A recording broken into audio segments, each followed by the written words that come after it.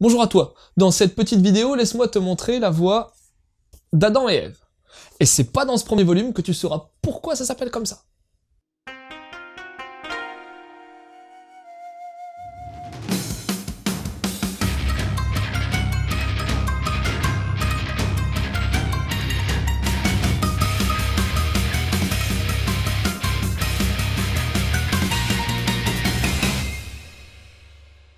Commence dans un bar japonais malfamé. Un bar de débauche où s'entremêlent, c'est le cas de le dire, prostituées et yakuza. À ce propos, c'est pas n'importe quel yakuza.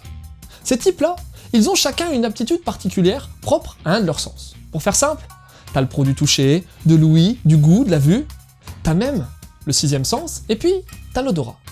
Pourquoi je termine par celui-là? Ben parce que Smell, le yak aux capacités olfactives hors du commun, ben on dirait bien que c'est le chef de cette mafia japonaise de l'ombre.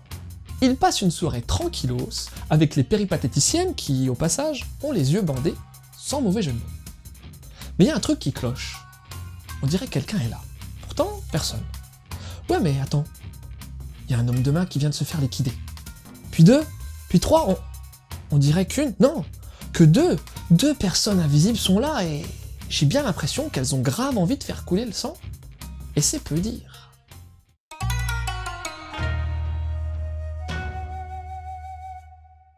Techniquement, ce titre est juste une tuerie. Bon, le dessin est signé Ikegami. C'est un dessinateur de grand talent et son trait assez vintage donne dans la grosse qualité. Les visages des personnages sont superbement représentés et vivent littéralement. Yeux, bouche, nez, sourcils. Avec ses ombrages, Ikegami rend les visages étonnamment bluffants. Les décors sont très présents et apportent une belle densité au titre. Et pourtant, c'était pas gagné, puisqu'il s'agit majoritairement d'un huis clos dans une salle d'à peine 50 mètres carrés. Et là où j'ai vraiment été scié, c'est sur certains effets spéciaux numériques. T'as les fumées, les tirs de flingue, les traits de mouvement, les trames, vraiment tip top, mais il y a aussi une scène impressionnante lorsque l'utilisation de l'ouïe est représentée. Le tout baigne dans une ambiance sanguinolente, apportant encore plus de noirceur au titre. Et puis la réal, vache quoi. Sans déconner, les compositions de pages frôlent la perfection. Des pleines pages impactantes, des scènes d'action super dynamiques, une retranscription des événements parfaite et hyper bien rythmée. Le tout bénéficiant de compositions internes superbes, riches et avec des cadrages de ouf.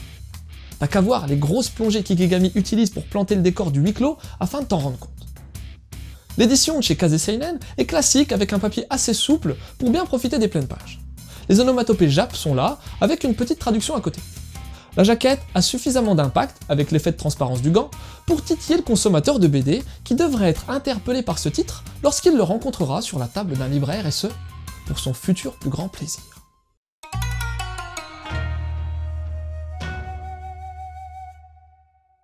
Dès qu'un manga dessiné par Ikegami Ryoichi sort en France, je réponds présent à l'appel.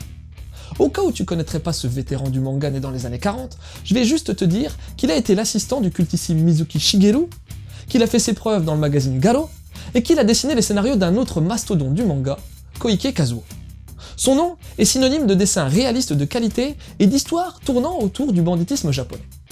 Pour Adam et Ève, Ikegami a donné vie au scénario de Yamamoto Hideo, un mangaka spécialisé dans les histoires de Yakuza à qui l'on doit Homunculus et Ichi the Killer. Bon, je pense que t'as compris que j'avais plus qu'accroché à ce titre, et je l'ai trouvé réellement excellent. Maintenant, avant de t'en parler, faut quand même que tu prennes en compte le fait qu'il s'agisse d'un manga hyper violent, très cru, et qui tente de fixer l'espace et le temps. En clair, il va pas te raconter une histoire longue, mais plutôt te présenter un fait particulier, très trash d'ailleurs, à un endroit donné. C'est bon pour les précautions d'usage? Alors, au départ, tu te dis que le fait d'utiliser des tueurs invisibles est pas si original que ça, hein. Mais combiné aux spécificités sensorielles des Yakuza, ce choix prend tout son sens, d'autant plus lorsque tu vois la façon dont ils utilisent leurs aptitudes. Je donne un exemple. Smell, le boss, il a un nez hors du commun. Il boit son sky avec le nez. Un de ses tripes, c'est le parfum émis par les cheveux des nanas, mais pour en profiter à fond, il fait flamber la tignasse des filles pour avoir un max d'effluves. Ces Yakuza sont des vrais tarés, mais tout est justifié par le scénario. C'est hyper violent, mais la violence a un sens. Elle contribue à donner vie aux Yakuza. Autre point super intéressant, le huis clos. C'est franchement une idée compliquée à mettre en place, au niveau de la gestion de l'espace, de la représentation des décors, des actions limitées. Mais c'est putain de réussi quoi Tu t'ennuies pas une seconde Tu veux savoir ce qui va se passer et comment ça va se dérouler. T'as envie de les connaître les Yakuza. Maintenant, ce titre a tout de même un défaut à mon sens. Il est court, très court, deux volumes. Enfin, c'est même pas un défaut en fait. Les personnages peuvent pas avoir de background ni d'objectifs détaillés, et au final, ça les rend encore plus mystérieux et charismatiques. Sans déconner, j'ai pris mon pied lors de la lecture de ce volume 1 et je te conseille vivement ce titre si t'aimes les histoires mafieuses à la Tarantino, les combats mind game et les super pouvoirs originaux. Et tout bonnement si t'aimes le bon manga. À réserver cependant à un public averti.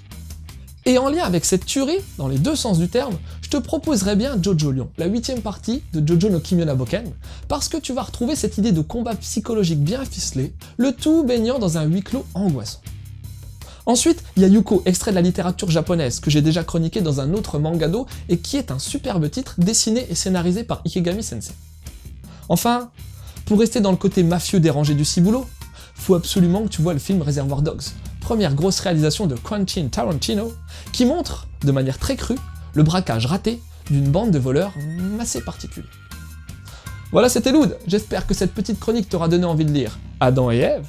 Je te laisse et continue de suivre la voie du manga.